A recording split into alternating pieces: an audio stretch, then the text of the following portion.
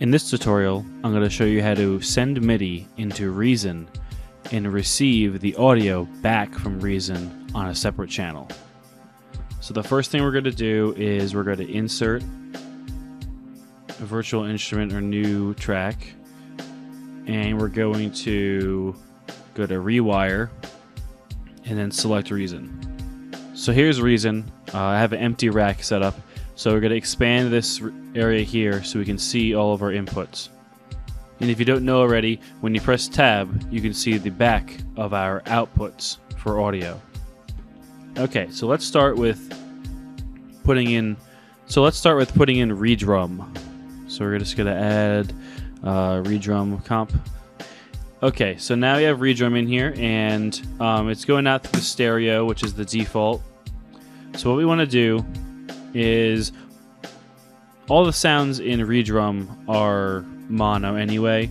This they're just panned. So what I'm gonna do is I'm gonna go um, disconnect both of these. I'm gonna go. This is the one to one, and disconnect that. And you're just doing this by clicking two to two, three to three, four to four. You can also right click on them and say redrum channel five left, you know, six left, but I like to just do the drag thing. It's probably the cool thing about Reason. So now that's all uh, routed out. Press tab again. So now when we play these, we'll see them. We'll see them changing the input, at least the first two. We haven't set up Reaper yet. So let's get out of this for now, just minimize it. Don't push the X like a VST or else you have to reopen it. So minimize Reason and we can close this out. Go to the IO section of our Reason host track. What we want to do is change this track channels. We want to change that to up to 64, which is what Reason allows. I'm only going to do 16 for now since I'm not going to do all 64, but all the same concepts go for all of them. So for now, I'm going to do uh, 16 and we can close that out. And after that we can click on effects and you have to tell it where to put all these tracks. So we have audio from rewire which is whatever is being rewired. So in this we're going to go and continue these down to channel 16 so if you had 64 you continue it down to 64 tracks. And I'll show you how to save a template so you only have to do it once so you have a very good starting point uh, for your next time. So just assign these all one, you know, one to one, two to two, three to three, four to four. All right, so now that that's all done, what we can do is right click on this rewire and tell it to build multi-channel routing for output of this selected effect. Click on that and it's going to give us this message similar to the video with Kontakt. It's going to ask us if we want to automatically build the routing system. We're going to click on yes. And now, boom, you see here on the left side, we have mix, which is a stereo output. We'll change that. And then all the way down to channel 16. So now, if we open up Reason, we play the Reason, we can see that these are going to different channels. So the only thing that's a problem right now is we need to create a track and name it channel 2 and then change this to channel 1 and what we need to do is change out the IO you see how here it's receiving on channels 1 and 2 we want to change that to just channel 1 and then this one here, we want to actually add a receive from the Reason host on channel 2 only. So now when we open up our Reason, we've got uh, separate channels. Kick, number one, snare,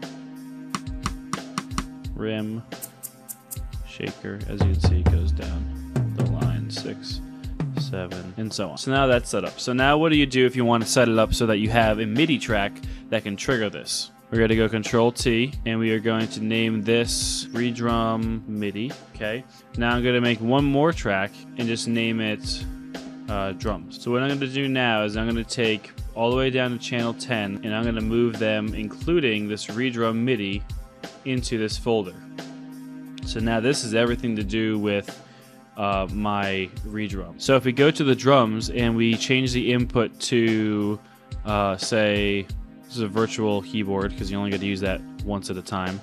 And we turn it to record and turn it to monitor. And then on this here, we're going to click and change it to not record. So uh, disable recording.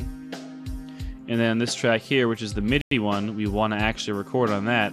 We want the input for this to be virtual keyboard all. And this one, I'll change the virtual keyboard to 16 because that's never going to be used because I don't want this ever to interfere with anything, double triggers or anything like that. And this one here also needs to be monitored. So now our V-drum is set up to send to Reason. So if you see this, has that little uh, bar there flickering around because I'm hitting notes. So now how do I actually tell this to send into Reason? Go to the effects and then MIDI send to rewire and make sure that this channel 1 is on redrum and then make sure that we are sending MIDI to Reason host, no audio, turn it to none, all MIDI channels from this particular track to channel 1. That's going to send to redrum because that's on channel 1 right here. So now if we open up our virtual keyboard, it is sending through. It works if you get a sequence in Reason as well, so you can do that too. You can sequence inside of it and then just mix it in there if you just have a loops or whatever. Anyway, so let's go on to the next one. Um, I'm going to add in the NNXT, and um, remember we have to wire these out to an input, so I'm going to send these to um, 11 and 12. Even though I'm using it for a bass, I probably don't really need stereo, but I'm just going to do it anyway. So, all right, so we got 11 and 12. And this next track here, since we're going to go to 11 and 12, I'm just going to delete the track 12 because I'm making this one synth 1 left right enter. And we're going to create a new track. This is going to be called synth 1 synth 1 MIDI. And this one here is synth 1 audio left and right. Now you can name these whatever you want. If you make your template and it's always the same thing like you say it's always going to be bass or it's always going to be keys here you can name it whatever you want but this is also a good way to say, you know, I'm just going to have these pre-routed. So um, I'm just going to open it up, synth one, two, three, with the uh, NNXT, and you can just go ahead and change the sound to whatever you want. You just know it, that's the first one, and that's what matters. On this one here, we're going to need to make sure it's receiving on 11 and 12 by clicking on this 11 and 12 and then it's sending to a stereo pair which is the channel that you're on this one here, we're going to make sure we are sending to the Reason host, no audio, MIDI all to channel 2 now. Close that. That's set up. And now this one here, we um, right click on the record button, disabling record, we're turning the monitor on, and then we're going to virtual. I like to set it to virtual keyboard on the MIDI input to channel 16 because I'm never going to use that because I don't want this ever to start monitoring anything because it doesn't need to. So this one here, we're going to just do MIDI virtual keyboard uh, ch channel 1 monitoring. You could obviously set it to your regular keyboard. You know, that's why it's there. And then what we're going to do is we got to go up to this effects one more time and then here for channel 2, MIDI send to rewire, we're going to right click on that and we're going to tell it to go to NNXT, number 1. Alright, so now if we go down here, open up our keyboard. Now we got our bass. Awesome. So now we can do is I uh, I like to just get the rid of the rest of these. And what I'm going to do is I'm just going to duplicate this, Control D. You highlight them all, Control D will duplicate them. And then I'm just going to uh, rename them to synth 2. And now what you need to do is you need to make sure you change your IO to MIDI send channels 3 and then on the audio one, we need to make sure it sends to audio 13 and 14, not 12 and 13 because that'll be taking part of that. So 13 and 14, the next pair up. And now, if we go into Reason, we have to actually put an effect or else we won't be able to send something to it. Let's put in Thor. And if we use Thor, um, take the stereo outs, go to 13 and 14. Alright, so that's maps correctly now in there. And then go up to the Reason host, effects, and channel 3, Thor 1. So now if we go down to Thor, and open up a virtual keyboard.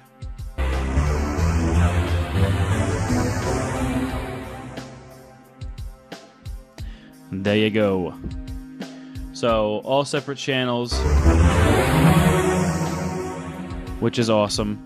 And um, you can do, like I said before, you can open up the I/O, change this channel thing to 64, so you can have some, you know, Reason open with like a bazillion virtual instruments, all mapped into Reaper. So I just did. Um, I didn't even do 16. What did I do? 10 is on the drums, and then uh, what did I? 14. I did 14, I think. So now what we want to do, now that we have this set up, is we want to save this as a track template. So we're going to click on the bottom one, and we're going to highlight them all. You can always change the colors and everything. That's that comes as well.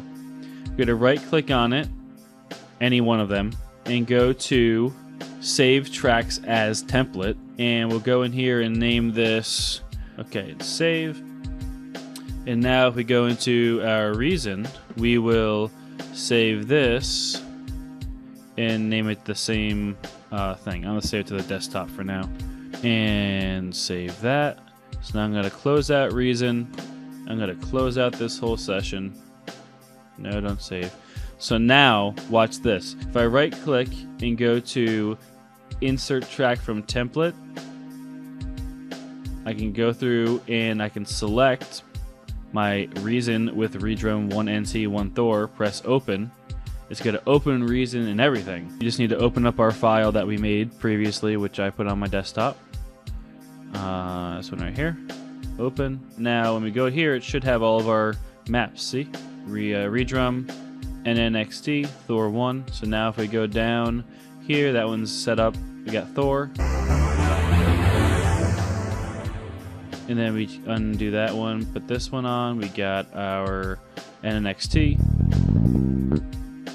And then we go up to the top and we get our drums. Awesome. This is my template that I have set up to open. It's not an empty rack.